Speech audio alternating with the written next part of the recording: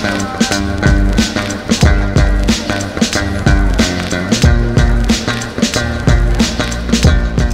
was my first fashion week and I can't even start to describe the feeling of excitement and the rush that I felt from being in the center of it all.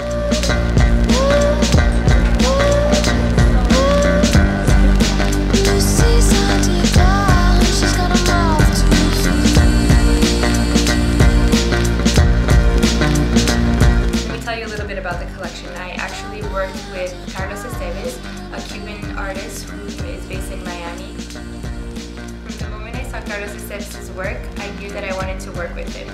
His paintings seemed to work perfectly with my aesthetic and it just fit perfectly within my designs. He does these uh, juxtaposition between these mechanical parts and these more organic pieces, which I think is a theme that also translates very well in my work, and that I often is a theme that I often repeat. Show me love. You've got your hand on. I'm very proud and happy with this collaboration, and I think that it really shows in the work. I really like um, mixing this more architectural, more structured um, feel with a more organic and more poetic and more soft, feminine approach.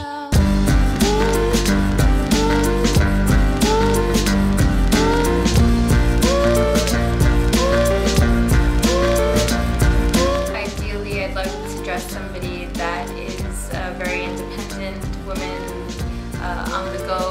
A lot of my pieces are pieces that can be used uh, to go to work and then, you know, kind of transform to go out on the town. So it's very, it's pieces that are very versatile and that can be dressed down or dressed up. You know, just I like women that are confident about who they are and just like to have a good time with their clothing. People that are just conscious of their of the way that they dress and what they like.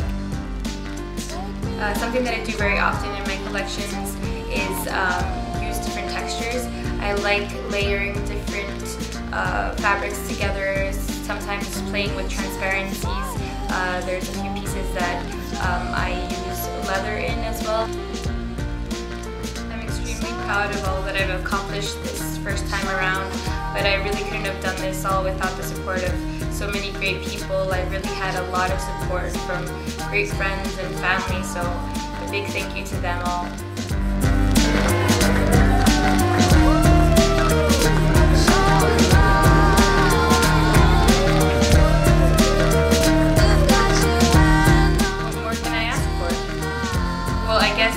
Like my line as much as I do.